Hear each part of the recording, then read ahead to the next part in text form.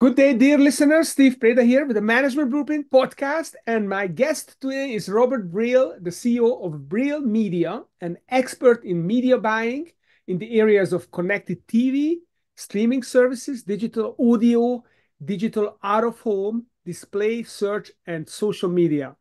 Robert, welcome to the show. Thanks for having me, Steve. Appreciate it. So uh, let's start with your entrepreneurial journey uh, through um, I hate to say that four failed businesses to finally but finally founding and growing a three times fortune 5000 business. That's a real american success story isn't it? Thanks. Yeah so when i started brill media uh, i started four different companies. Uh, one was an influencer marketing company. One was me being the influencer in the food space. One was a consulting firm and one was a social media company. And I didn't have any real level of expertise in any of those. Um, at that moment in time, I had spent about 10 years in the advertising business. And the thing I was the best at, my my zone of genius, as it were, was uh, media buying, running ads for corporations, Sony, Disney, Capcom, Bacardi, Toshiba, Toshiba, PetSmart, etc. ConocoPhillips, Fortune, uh, Five Company. And it took me a few years to realize that the thing I need to be doing is the thing that I do the best, which is media buying. And media buying is another way of saying advertising. And advertising is when you spend money to deliver your message. So if you're spending money with Facebook or Hulu or X or LinkedIn or TikTok or Google search, uh, you're advertising. Uh, if you're not advertising, it means you're social, you're posting on social media, you're doing search engine optimization, whatever the case might be. Mm-hmm um, I started a bunch of companies, and uh, the thing that was the best for me is media buying. And once I really focused on media buying, I fundamentally realized that where I need to focus my time and energy is where I have the most competitive advantage. I have an unfair advantage because I'd been doing this for so long for so many big companies. And once I really focused on that, things started to fall into place. It was never easy. None of this is actually really easy. But I think what's interesting is when you determine that you're going to do something, then even the problems you have, the solutions start to come to those problems. And for the longest time, I tried not to deal with the problems of going into the media buying business, which is I didn't know how to sell, and financial risk is a big is a big thing. It's a big part of the business. So I didn't want to deal with that, and as a result, um, I put it off. And when I started to deal with those challenges, solutions came into focus. Mm-hmm. Yeah, that is so true. Um, I think it's Tony Robbins who says that where attention goes, energy flows. Uh, so it's basically, uh, you know, we are infinitely uh, resourceful. If we have to solve a problem, uh, we we do. And I think the great entrepreneurs are the ones who are willing to put themselves in harm way and into very stressful situations and and force those reserves to come to the surface that are in, in uh, latent in all of us. So that's great. So you're in in this business now. Uh, so tell me, how does this connect to your personal why? What is your personal why? Why are you uh, doing what you're doing, and what drives you as an individual? Right. My personal why is a few things. Number one, I really enjoy the business. I really enjoy being in business. I really enjoy having opportunities to grow having opportunities to become a better version of myself. And all of that is going to be really valuable for what motivates me. I had this vision when I was a kid. When I say kid, I mean like in college in 21, 22, 23, etc. And I really wanted to make sure that I was successful. And being successful to me meant not having to deal with struggling with money. Mm-hmm. And not having to struggle with money meant that I had achieved enough and I was valuable enough to organizations that I was worth getting paid a, an amount, a living wage, basically. And I thought, man, how am I going to actually do that? Because, like, you know, my parents very modest, lived in an apartment their whole their whole lives, emigrated. Sorry, emigrated from uh, Europe, uh, Romania specifically. The luck of the draw, they they never bought a home and etc. My dad was a civil engineer. Uh, my mom uh, worked in the dental space, working uh, places that made uh, crowns and bridges for teeth and all that stuff. I was like, man, there's no like fallback for me. There's no position where I'm going to inherit anything and it's going to cover me. It's like, I have to do this. And so I think that grit and tenacity and or fear and or holy cow, there's no safety net, whatever you want to call it, all of that wrapped into this concept of I've got to like figure out a way to make it work. And as I think about why I became an entrepreneur, I've always just wanted to be better. Like I never would have been had the title of CEO had I not created one for myself. And yeah. I like the game. The game is fun. Even when I'm losing, the game is interesting. I hate losing, but we all lose eh, eh, sometimes. And it forces you to become better. And it's like it's like a mindset thing, right? Like either either the loss or the fail is is a reflection of who I am or the the loss or the failure is a reflection of what I need to learn to build muscle to become better. So I choose to see the world that way. Love it. Yeah, I, I find this fascinating. I didn't realize you were uh, your parents were from Romania. We actually moved from Hungary over here, so ah, very next close door neighbors, next door neighbors, as it turns out. Just interestingly, so my parents grew up in, uh, or my my mom, my, my dad grew up in Bucharest. They met here, not in Romania. They grew up in a town called Hermannstadt, which is a uh, Sibiu, and um, apparently like you know in o- over the course of hundreds of years sometimes it was part of hungary yeah. sometimes it was part of romania sometimes it was part of like the iron curtain with russia so you have like this this this amalgam of different languages and Hung- hungarian i think my grandma who just passed away she she spoke hungarian a little bit she was a polyglot she spoke english hungarian german romanian four or five languages yeah that's insane. Lots of talent in this part of in this part of the world. Um, out of necessity. So again, necessity is the mother of invention, um, right. and uh, the uh, the harder the circumstances, the more the resources, uh, res more resourceful the people are. So um, let's let's uh, switch gears here and let's talk about the framework that you developed with Brill Media, or maybe over uh, even before. This is a broadcast of frameworks, and uh, I was very excited when you told me about the meta framework. Yeah. Uh, tell me what the meta framework is all about and how do you use to to really uh, you know buy media and target your advertising well. Yeah, so I'll tell you the V the version 1.0 and then I'll tell you the version 2.0 because there's a version okay. 2.0 since we last talked. Um, the version 1.0, which is still valuable and is still in deployment, three steps. On Meta, you want to target broad audiences, age, gender, and location. So step one, target broad audiences The reason for that is Meta is really good at finding who your best customers are. And the more limitations you put on Meta, the less likely it'll perform effectively uh, for most campaigns, especially if your campaign needs to be always on, like you're going to need sales tomorrow and then five months from now, then 12 months from now, etc. So you want to train Meta's machine learning algorithm to find who your best customers are. First step on that, broad targeting, age, gender, and location you don't want to do narrow targeting. So narrow targeting is interest targeting, keyword targeting, lookalike targeting, or um, retargeting, serving ads to people who recently went to your site. The reason for that is because when you do the broad targeting, Meta does all that for you. And I'll give you an example of how that works. If you're selling shoes, for example, if someone, if a user goes to a, a competing website and puts a shoe in the cart and abandons cart, then Meta will know that and serve your shoe brand instead. So it, it does all that stuff for you. It's really powerful. So the first step, broad targeting. The second step is a creative testing framework. And the creative testing framework is this idea that you're going to create five ads per month.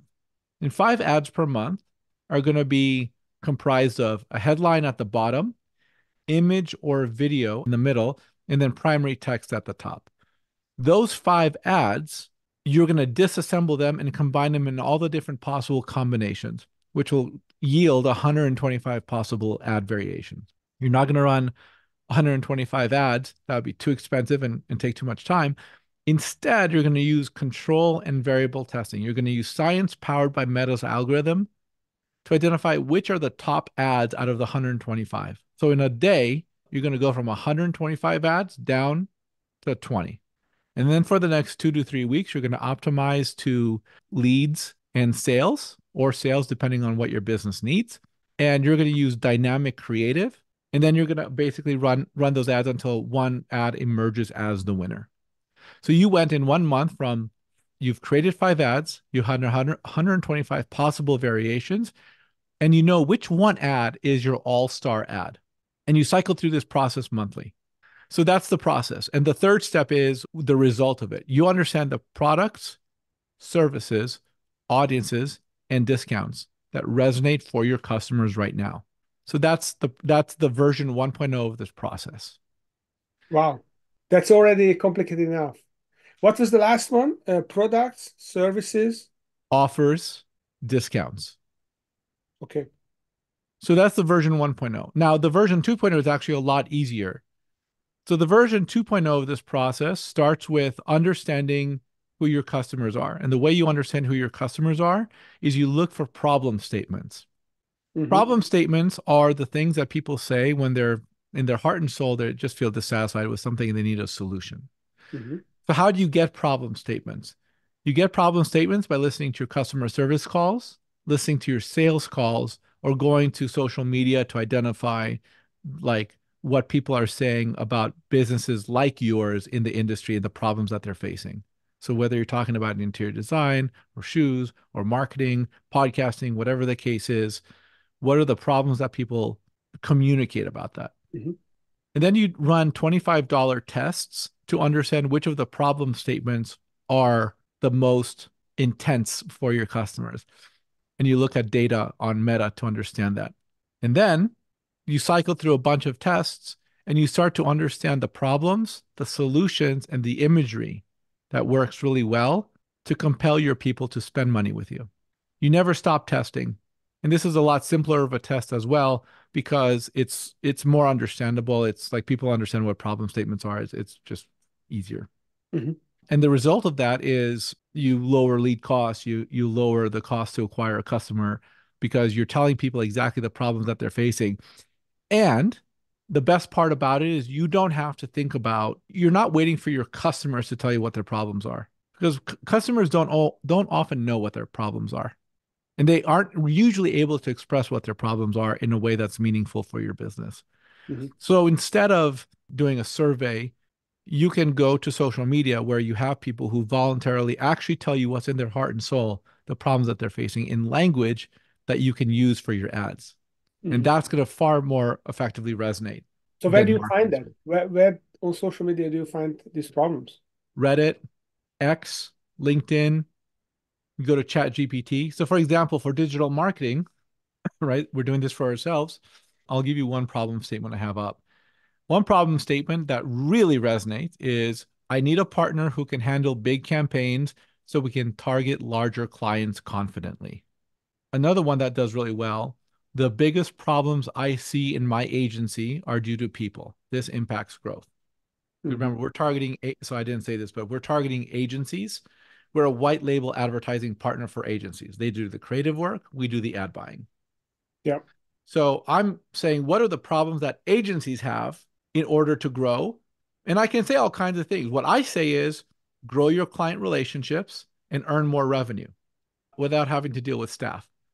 But that doesn't sound as interesting as the biggest problems I see in my agency are due to people. This impacts growth. That's fascinating. So if you talk about the Meta Framework 2.0, you mentioned the three steps. So understand the customers, uh, mine the problem statements, and number two is run the $25 tests to find the most instance problem statement. So is this the same way as you do in 1.0 that you create five variations and then 125 permutations and then you narrow it down or that's a different no, approach it's a different approach so the so what you're going to do with your ads on the on the version 2.0 is you're going to create 10 20 30 different problem statements you run them as ads you run them as traffic campaigns so you're getting a lower cost per thousand impressions so the cost for the impressions is lower and you're looking for at least a 1% click-through rate and a 50, per, uh, 50 cent cost per click. There's variation to that, but that's a good rule of thumb. And you're running about 400 impressions. And when you're doing that, you can say like the ones that have a very low click-through rate just aren't that interesting to your audience. The mm-hmm. ones that have a higher click-through rate are interesting to your audience. And so then and you're running like like I said 10, 20, 30 different ads. It might cost more or less than $25 depending on the situation and you're constantly cycling through this. So then when you have a problem statement, like the one that's uh, the biggest problem I see in my agency are due to people, this impacts growth, then you test problem solution statements, which are your headline, like scaling up, we're your media buying crew. expert media buying solutions without the staffing hassles. Right. So now I presented the problem. I need to find an image that works, and then I have a headline that solves the problem. Yeah. And then you take all the language and you put it into your landing page. Because now you don't need to write marketing copy. It's been written for you because you know what resonates with people. And then you cycle through a variety of tests with your landing pages with the same thing. And then you create an offer. What do people who are having staffing hassles, what do they want to see? Well, they may want to see uh, a breakdown of all the money you, you save by not hiring a media buying partner, for example. Yeah. This is fascinating. So obviously you're a very systematic uh, thinker, and I love how you put this together. And I particularly like the contrast of the problem statement and flipping it into a solution statement. And then you basically test your problem statements before you flip them. So what are the most powerful problem statements? Find the solution statements, test that as well. So that's two levels of testing. And then you add the imagery, which is the third uh, dimension to it. And then you rinse and repeat. So every month you do the same thing. No, every day you do the same thing. Wow. So these ads have a short uh, shelf life that they need to be refreshed all the time. No, no. So the testing, you're doing the test continuously. You never stop testing. As your funnel, as your purchase process gets more refined, excuse me, you don't have to maybe test as often, but you still should continue testing. But this is a rapid fire way to get started on any business really quickly. But the ads that you build have the possibility to grow your business and to have the possibility to to remain ads that are going to be relevant for you for years. So the ads are going to be there, but you're constantly testing more and different. So you you keep uh, testing. You don't sit your, on your laurels, even if the ad is working well. You keep finding alternative. More, more ads, different ads, and then and then you test. So like you take your best ads and then you continue to test them. Mm-hmm. So there's a little bit of a combination of version one in there as well, where once you know your best ads, then you let them compete. Who's going to be the best, and mm-hmm. then you still do the broad targeting right so there's there's a little bit of nuance there so basically what we've what, what we've done with this if we're if we're doing this at for like a $900 sprint basically the idea is conduct a bunch of sprint tests interview your audiences or it listen to your sales calls or listen to customer service anything that you have and or go into social media and get the problem statements or go to ai and get the problem statements run those as ads and at the end of the $900 sprint like the the effort that we do for you you will get at least one complete ad that you know works that you know resonates and then you'll get a plan of action for how to scale that even further. Mm-hmm. okay. You also talk talk a lot about harnessing ai for uh, marketing effectiveness. So is this the main use of ai for you to find those problem statements no it's not the main use it's one of many uses. So here's here's a few ways that we use AI in this process in in general processes.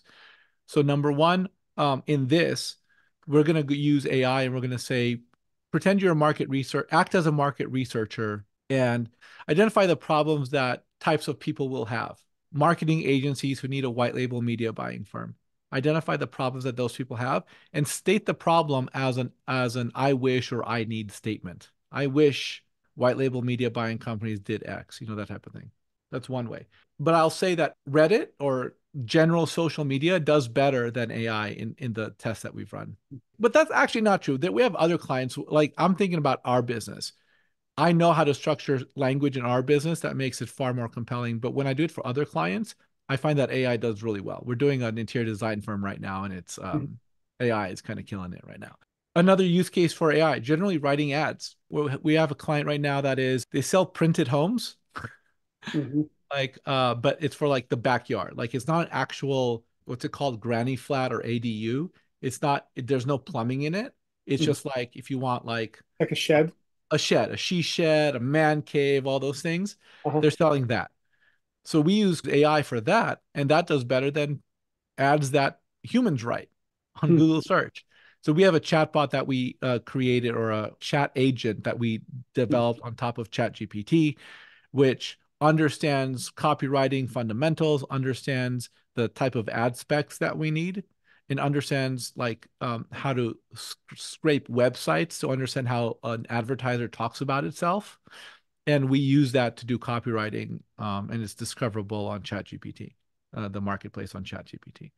Um, just search. Probably you could you could search for Brill Media, and you can find that copywriting bot. Wow, that's crazy. So your your copywriting bot is is public? Yeah, it, it is public. Absolutely. I'm happy to share a link to it. Wow. So why would you share it uh, publicly? I don't know. Why not? you innovate faster than other people can copy you? Eh, I'm not worried about people copying me. That is pretty cool. Yeah, if you go to if you search for brillmedia.co, you can find it's called Copywriter Pro. Uh-huh. Okay.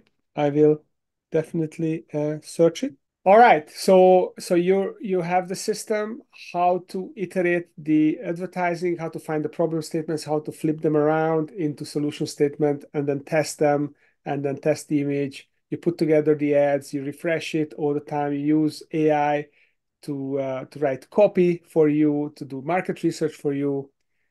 That is pretty uh, crazy. So uh, it sounds a little bit overwhelming uh, to be honest. The, it's it's supposed to, I guess, uh, by design. because it's a complex topic, and it took you um, a couple of decades to figure it out. So, if someone would like to uh, learn from you, or hire you, or figure out what you do, uh, where should they they go for more information? Yeah, go to brillmedia.co, B as in boy, R I L L media.co. Um, reach out to us if you're interested in the $900 sprint testing. Um, that's a good first engagement for us, and we're happy to do that. It takes about two weeks. You can get your first amazing ad in two weeks, and you're going to start to understand what customers want from you. And so we're we're happy to get started on that. Wow, that is amazing. Well, Robert Brill, the CEO of Brill Media, expert in media buying and actually creating advertisements that work uh, as well. So thanks for coming to the show. And for those of you out there listening, immediately uh, subscribe because this is pure gold that you get from people like Robert, and uh, you don't want to miss any episodes in the future. Thanks for coming and thanks for listening.